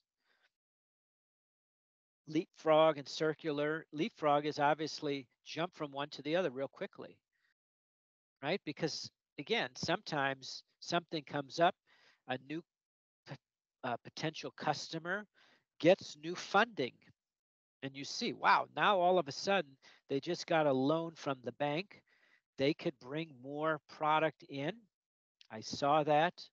So you ju- oh, I got to go to them right now because I don't want my competitors going there. You just leapfrog. Again, you got to know your customers. You got to know where your resources are. And sometimes it's like, you know, how do you route, you know, how do you look at things, timing, like a clover leaf, right? You have a four leaf clover, right? Customers maybe are on those four parts where do you go? Which clover do you go to? Or is it just straight line, very easy? I have 10 customers. I call each one every month to follow up and I visit them. Usually it's not necessarily, it might be a straight line for a day. It might be all these in one day. Who knows? Right? Flexible. Be flexible. All right, let's look at a couple of ways to increase our time spent with customers, techniques too. Okay, because sometimes to be more efficient, we can increase our time spent, right? Efficiency. Zoning. So here's me, when I was in the textbook business, I would have professors in lots of different disciplines. So yes, they would be in business, but I would have English professors and psychology professors and those that taught um, French and those that taught uh, architecture and those that taught history um, and and chemistry. Now they're all in different buildings. Some are in the same buildings. I have to manage that. I have to figure out okay, what is the best way to do that? Now, obviously, I prioritize based on potential of client. The, the bigger the bigger potential, they they have more students in their classes. But I can't be running from the chemistry building to the English building to the business building to to the language building to to see the people in architecture constantly. I can't see one person here and boom. That's not efficient with my time. So what I try to do is stack. I try to zone them. I try to, okay, I'm going to spend two hours in the business school. Who are all my top potential people in the business school in one place? And then I go, okay, what is the next highest potential? Okay, those in science, chemistry, biology, um, geography, geology. Um, okay, so I call on those people. And then math is a big deal. So I have to make sure I have time. But I can't just be running all around. So I kind of zone, I kind of look at. And every once in a while, I like, oh, yes, I have to get across campus. I have to see this professor at two because they're only in at two o'clock. So that does happen. Or I have a customer that is only available on Thursdays. So I need to make sure and clear my schedule so they're available because they only come into the office once a week because they work remotely the rest of the time. That happens now, right? So you zone, you figure out what works best for you. How do you manage that? So you may not have to manage a large territory, But it comes down to maybe within a project, maybe you're managing a project, and within your company, there's nine people that are on the project team, and they're in different departments, different functional areas. This kind of speaks to that too. How do you get everybody together? You could get a Zoom call going on, right? Or you can you can meet on Microsoft Teams, Google Meet, wherever you're meeting. Be more efficient but the interaction sometimes is lost if you're not there in person. So sometimes you need to do both, right? All right, let's let's uh, talk more here using email and the phone, right? We want to be more efficient with our time, right? Obviously, we have a phone, we have a computer, we might have an iPad, we might have some kind of tablet, so we'd be more efficient when we travel, right? So what does it look like to use email and a phone to increase our time with customers? You're in the car, you're driving, you're walking, you're exercising. Again,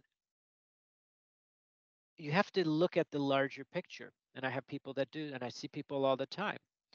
They're taking the dog for a walk, they're just walking, they're out in the neighborhood, they're on the phone. Are you paying, how much are you being mindful of where you're going? Or are you staring at your phone? Now, you need to be aware of that. Multitasking can be problematic.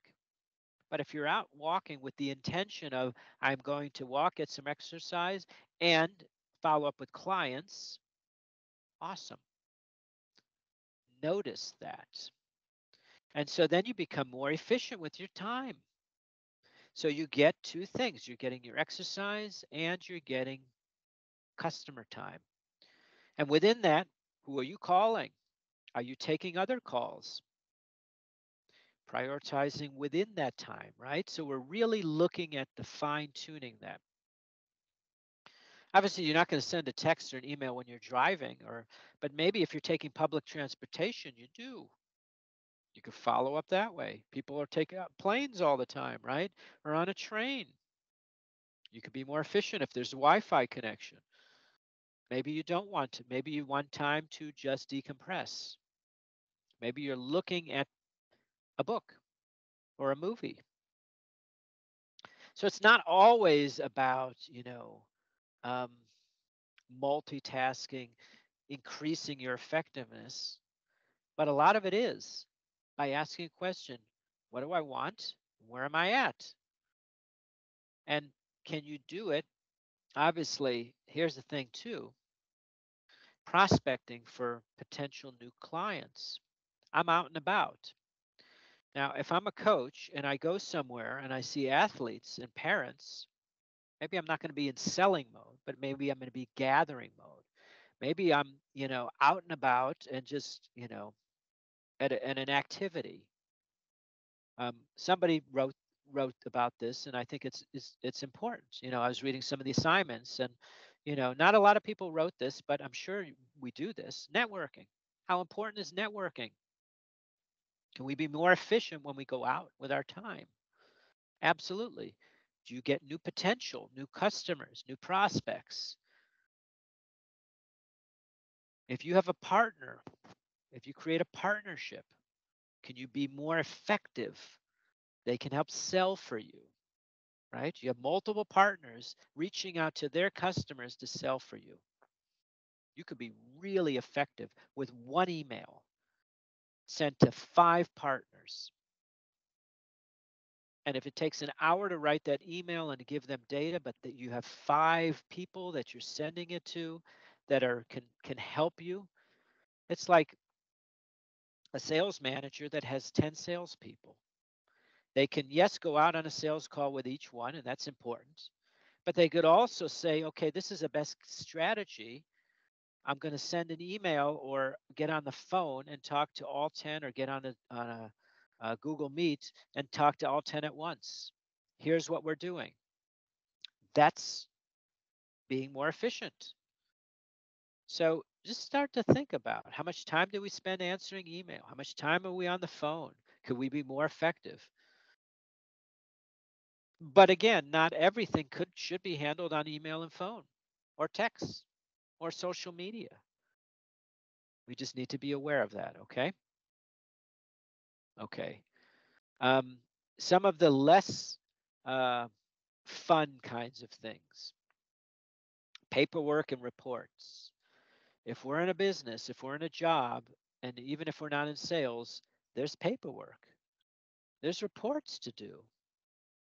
Again, it may not be critical for you to do the report because your boss asked you to put it together, or their boss asked your boss and you're doing the work.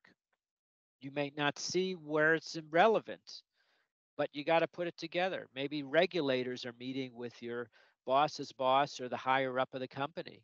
And so they need you to do this paperwork. Is there a way to do it more efficiently and effectively? And we need to determine what should we improve. Now, like if you're a salesperson, you have an expense report, right? Because you travel, you do that's important for you. You got to get reimbursed for your money, right? It could all it's probably all electronic, right? But you got to put it through, take you know your receipts and your your traveling. Okay, that takes time. You know, I spent some time um, with the local law enforcement, um, the police officers in my community. It's a Citizens on Patrol group. And so I would sometimes at the beginning of the program spend a little time with the officers to see how they do business. Business writing tickets, business going to a call. Hopefully it wasn't, you know, something urgent. I wouldn't get out of the car if it was. Um, but a lot of times it's, you know, domestic disturbance or somebody locks their keys out of the car or something happens, traffic accidents. They have a lot of paperwork to do.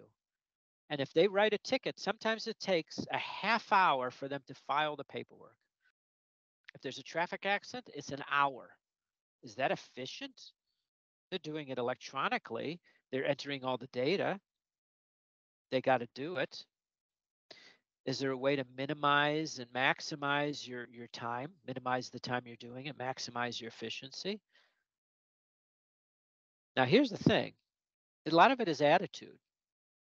If you think, oh gosh, I got to do these reports again, Ugh, I hate these. I hate doing these reports. They take so long, and it's like,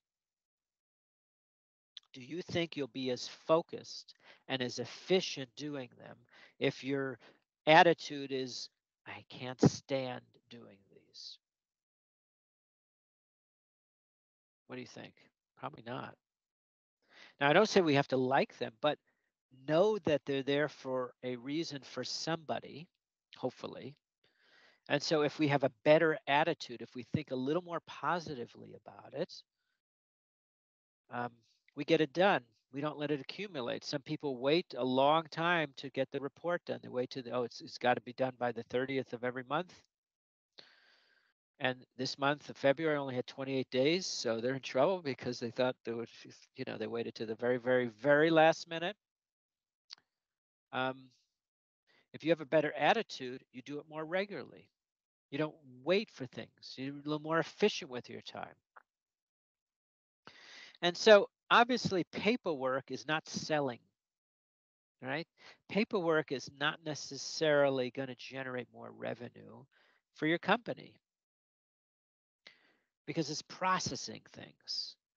But it's still sometimes important because it gives you like if you're if you're using a crm system and you're doing the paperwork entering all the data on there that takes time. And so, yes, it's not selling, but it's also giving you strategic initiatives to how to use your time later on. That's important. But can we be more efficient with that? You know, we there's there's software that you can just talk into, right? So we don't even have to type. You know, it's been around for a long time. So we be more efficient that way. We have abbreviated shorthand for putting things down.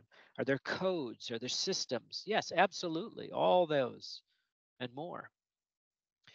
And then again, this is important here. We got to think about evaluating our performance. How are we doing? How are we doing effectively to manage our time? How do we do with that call? So this gets into, you know, I mean, a lot of times we, we don't do, we, we hang up with a friend and we don't kind of evaluate how did that go, but we feel it. We notice, oh gosh, they, you know, they were in such a bad mood. They got me in a bad mood, right? Or they were so excited, I got excited. So there's there's spillover. And it's not necessarily you need to evaluate every conversation you have, but it's like uh, notice, be more aware. What is driving you to feel a certain way? You know, are there people in your life that I call them energy suckers? They steal your energy because they're always negative. You might have some customers and clients like that. Got to be careful, got to protect ourselves from that. But you got to know that. What if you have friends that are like that? And just by talking to them or relatives, so you got to kind of evaluate where you're spending your time. That becomes performance. So after a call, for salespeople especially, for business people especially, what occurred? What happened? What do you need to do? Write these things down. And then it becomes, again, either printed or electronically part of your management system, your territory management system. Part of information to prepare for the next call. We talked about this months ago in the beginning of the class, right? Remember in terms of what do we do on a sales call? What do we do the first time we meet a customer? How do we engage the customer? That's this is the you know coming full circle here, managing that process. What do we do with the information? And then we should reflect on what happened. What were the objectives? Did we get them? What were some of the um, objections they gave us that we couldn't solve right away? Or maybe we did solve them. We can put that down because those are their hot buttons, right? So there's this analysis. There's after we meet somebody. And then there's activity analysis to say, what are we doing? Are we efficient with our time? Where are we spending our time? Is it making a meaningful difference in, in doing this? How much time am I am I wasting?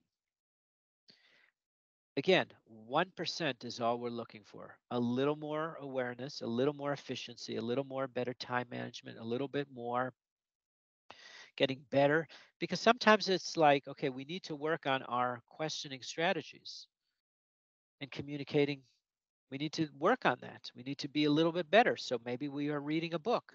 Maybe we are talking to our boss. Maybe we're getting a training from something online or in person. That is helpful making us more efficient later on. Okay? And then we evaluate again performance and we have to think about okay based on where we were, how are we doing? So it becomes this productivity analysis. We're looking at a bunch of different things, you know. Okay, how much, how how many customers are am I turning into a sale? How many job opportunities must I interview for to get the right job offer? How many resumes do I need to send out to get the interview, to get the, but can I be more efficient with it? Can I get an interview based on somebody I already know? That cuts a lot of the fluff out and you become more efficient. And so, again, it's not always, you know, point A to point B? Can I jump? Can I leapfrog a process to be more efficient? And so you always think about, okay, you know, yes, I can make 100 calls in a week, but if I made 50 and I did a little homework on all 50, maybe I could be more efficient. So it's not necessarily always a numbers game. It's a numbers with efficiency game. Okay? And what is the measure of effectiveness? What is the measure? Is it just the sales calls you made? Is it just that? Is it just how many I converted? Or is it looking at the long term value of a customer? We talked about that too. We might not know that, but if you think about it, it might take longer for certain customers for you to get to for to develop that relationship, right? That long-term business relationship, that strategic partnership. So maybe you spend more time there because there's more potential. And you have to realize that maybe you're not seeing the benefit right away. But obviously, you don't put all your eggs in one basket. You don't just do that. You also work with those customers that convert quicker, right? So you just need to calculate how much time is each step, right? In, in this selling cycle, this process of all the tasks you do, of all the manage of all the projects you manage, of even the one project that you're with right now, all the tasks within that one project. And remember, think about from the very beginning, there's the performance, but there's the process, the activities. The activities I can control. I can't control the the performance goals.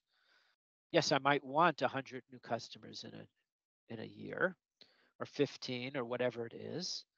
I can't control that. That's not my day-to-day, you know, activity. My day-to-day activities, what is it that I can do now? The win. What's important now? Okay? So let's look at this measures of evaluation. Just kind of start to think about this is ways that we can measure how we're doing, right? And again, if you're not in sales, think about how you do that in your job right now. Evaluation measures for total performance. You could look at it by customer type and products. Remember customer type? Those that have high potential, low potential, medium potential, maybe they're past customers that you're trying to win back, all those pieces, right? And you kind of can figure out how many sales calls, how much time do I need to spend on each of those converting, right? And am I effective doing it? Are my strategies effective? Do I need to improve anything? Can I be smarter? Of course. And compare what, you know, perhaps I compare to certainly compare to what I did last year and what I'm doing now, and maybe some of my colleagues and what they're doing. But what's the industry doing? Right? compare just know that the company will have goals you'll have goals but the industry has potential so you kind of look at what is it you know these big ticket item customers in the industry how long does it usually take to generate revenue from them might take three years to get your software implemented in these big ticket items so that's one piece performance and then there's obviously the sales achievement the actual dollars that you're getting the actual revenue the actual sales and you rank that, you evaluate that. So is your performance where it should be? Where did you believe? What did, what is the goal? Where am I at? What what do I want? Did you set the right goal?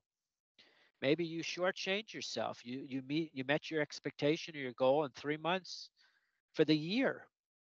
Maybe you didn't dream high enough. Maybe your goal wasn't big enough. What are your company's goals? Are you meeting those? And then you could look at dollars, commission, bonuses. So somebody, you know, if somebody refers their uh, client to me and I close the sale, I give a commission to those people, a bonus. They get 20% of the initial sale. And so I can look at, I can evaluate how much I, and I love doing that because those are people I would not be able to to know on my own. They help me generate a lead. And so I pay them money for doing that. They don't all, all know that, but that I do. And so then it becomes how much commission am I paying out? And I can track that to know if this is a, a way I kind of look back and say, hmm, and I did this. I'm paying out more in commission this year than I did last year. That should equate to my revenue going up and absolutely. And and, and i gave all my data to my accountant. And did you know what he said? He's like one of the first things he's like he looked at all the revenue and stuff. He's like congratulations. Good year right and I, you know and i had to think about that for a moment because he was asking me about my commissions he's like you have a you have a line here how much are you giving in bonus money commissions and I had to, you know, and like, well, that it's X dollars, and and I had to think about, yes, that's twice as much as last year. or a third more. And so then it becomes is like, am I doing a good job in helping those that I've already serviced with coaching for them to recommend me to somebody else? Have I done, done a good job with that? Maybe I can be better with that. They're selling for me, they're giving me qualified leads.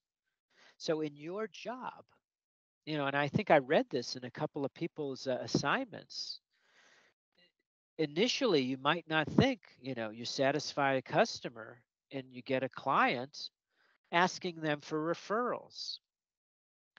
But it's huge, right? Satisfied customers provide referrals. That allows you to be more efficient with your time and your resources. Can't close every one, but you can close a higher percentage of those because they're warm leads, right? From a satisfied customer. You do a good job with that. This goes into why networking is so important. If you have a lot of people in your network that you know and you work with, and here's think about this all that we're doing here, we're talking about this time management. Think about it in terms of LinkedIn, some social media platform where you can connect and communicate with other people. It could be LinkedIn, it could be some other platform, some other way, okay? But think about this. Could you be more efficient with that? How are you spending your time with that? Are you getting leads from that? Are you generating leads while you're sleeping because somebody's in a different country, in a different time zone, selling for you, promoting you? Then you become more efficient. That is extremely powerful. Okay.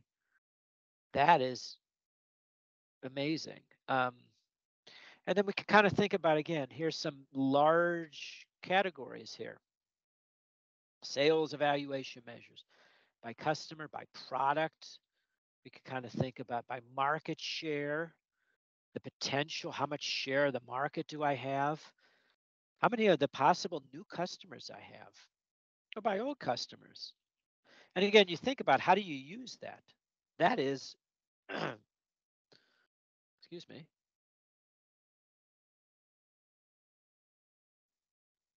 That is one of the great questions. right? How do I use it? How do I use this information? There will be an exam question on that question because I think it's a brilliant question. How do I use it? From that perspective of you have data you gathered, what do you do with it? So there's the question, what do I want? Where am I where am I at and what do I want? You gather the data, what do you do with it? How do I use it? And that's the key here. So you look at your old customers, are you servicing those accounts properly? If not, you're leaving money on the table. Your new customers, are you building new business? How much? Market share are you getting relative to your competition? Are they driving more market share than you? Are they stealing market share, meaning that the potential of new customers is going away? You got to know that. And so then it becomes this question how do I use it? Are your efforts in the right place? With time, things you can impact that you can control. Your prospecting, your account calls, your presentations, how often you follow up, evaluating, right? You think back to that first assignment we talked about the buyer behavior process. How much time was spent in that and those eight steps in evaluation? A lot, right? Because it's so important to reflect and evaluate and see how we're doing and to notice, okay, that whole process, that last couple of steps is about evaluation. Did what I buy work? Did did the and the buyer's doing this? Your buyer is doing this. Your hiring manager is doing this for you. The employee, did I hire them? Did I do a good job? Was I effective with that? Absolutely. So we, we need to do the same, right? And so just kind of start to think about a few other things here, and we're kind of close this out. Um, it's the stages, the self-management process. Just a little different look at it here. Okay, we set goals, right? We design the strategy. We had this in a, in a graphic, but I want it clearly because this is important. We implement the time and, and strategy and territory strategy, and we evaluate four, you know, um, five, you know, four cornerstones kind of thing. And within the goals, right, we evaluate, we we sift through the goals, right? What do I want? Where am I at? Where am I at? What do I want? And so that's what it becomes. This whole process, whoop, this whole process is about that. I'm gonna stop the share because that's it for the, the uh, okay. So um, in the in the book we have just a couple of more chapters left. We're kind of closing out sales operations and the selling process. I think you can kind of see the time management piece it's useful for everything. And we do have resources we use right now. A lot of them are electronic. But start to think about in your downtime, could you be more efficient with your downtime? Even in the uptime, how can we be more efficient with that? Are we, again, you don't have to micromanage every single minute, of 86,000 seconds a day, because some of them were sleeping, hopefully. Um, but it's about awareness, about self awareness, about noticing what's working and what's not working, and doing more of what works and less of what doesn't. That's what the selling process is about, right? It's communicating and communicating effectively, adapting your style. And time management is one piece. Managing your resources, your territory, your uh, project is another big piece. And so we kind of need to look at things a little bit more um, from the perspective of am I being as efficient as I can be? And how can I how can I be a little bit more efficient? I say 1%. Again, 1% a day equates to 42% in a year. Imagine you have 1% in one area, maybe 1% in five areas of your life, not just your, your job, but other places. Then it becomes incredible efficiency, right? The example I gave of the client who was stringing a tennis racket took two hours we're going to have things like that. We're not good in the beginning. It takes longer, get more efficient, get better. You could also pay somebody to string the racket, right? But his dad, this kid's dad got, he was like looking at, he was evaluating how much money am I spending on r- new rackets being strung? And can I buy a machine to do it and spend less money and less resources? And be more effective with my dollar. We make these decisions and choices all the time. And so that's what we're doing. So it's just about looking at things a little bit more, little bringing a little more awareness to what we're doing. All right. So that's what I have for you today. We finished uh, finished more efficiently with our time, right? Because we have a few minutes extra. Um, a couple of reminders those, and I'm looking at who's on the call. I think everybody on the call t- already turned in their assignments. Those that are watching on the recording, assignment number two was due yesterday. Please still do uh, turn it in. Um, if know that the last quiz for chapter 14, that will be the last one, is eight questions. That's posted for last week. Um, I've had some people that weren't able to get to every quiz. I've had to open some of those up to expand the time. This last quiz goes to the end of April. So obviously the grades are due before that. So get to this last quiz. Again, it's eight questions. Um, uh, the other piece here, and I mentioned this in the, the WhatsApp group, is that from now on, because of some travel arrangements and some travel constraints for me, we're going to continue with uh, meeting on Tuesdays. Okay. So for the rest of April, there's only what three classes left to meet. Um, we're going to be meeting on Tuesdays, three, and then the final. Um, so Tuesdays, 10 a.m. Eastern. And again, I apologize if people can only be here on the weekends, um, but everything will be on recording. So you'll be able to interact that. And again, for the final exam, I'm going to open it up so you'll have more than a week. I want to give you maybe 10 plus days to get that done um, because people travel, and I know, and I'm becoming busier in my travel time. That's why we have to move to Tuesdays. All right. Um, so I will see everybody here next Tuesday, 10 a.m. Eastern. Um, look for that additional quiz for chapter Uh, 14. Professor, let me Yes. request. Uh, I have a trouble to answer the some uh, starting from week six, chapter seven, sir. Uh, I haven't finished uh, any quiz. Uh, let me answer again Okay, so chapter six. to until Uh, now. Okay. Um, Yeah, so I'll have to look at that and, and I will open that up. Um, I'll, I'll give you another day to get that done if you can get that done Yeah, in the thank next you, 24 hours. uh, Okay. Next week, I'm I'm able to answer. Yes. Okay. Yes. sir. All thank you. And I, and again, I know travel happens and things and I have posted up there. Ashraf, you have a question?